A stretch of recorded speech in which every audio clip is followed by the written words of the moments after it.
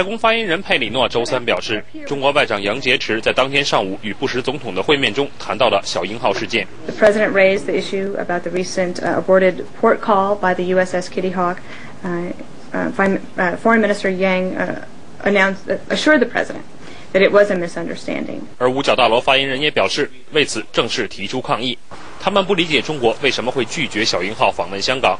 但是他也表示，这一事件不会影响美中两国军队之间的关系，也不会影响到刚刚确定建立的美中军事热线。I don't have any update for you on the establishment of the defense hotline between Beijing and Washington, but I don't have any sense that it's not moving forward. 美国小鹰号航空母舰以日本横须贺作为基地，舰队原计划十一月二十一日访问香港，但是中方先是拒绝了美方的要求，随后又出于人道考虑改变了决定。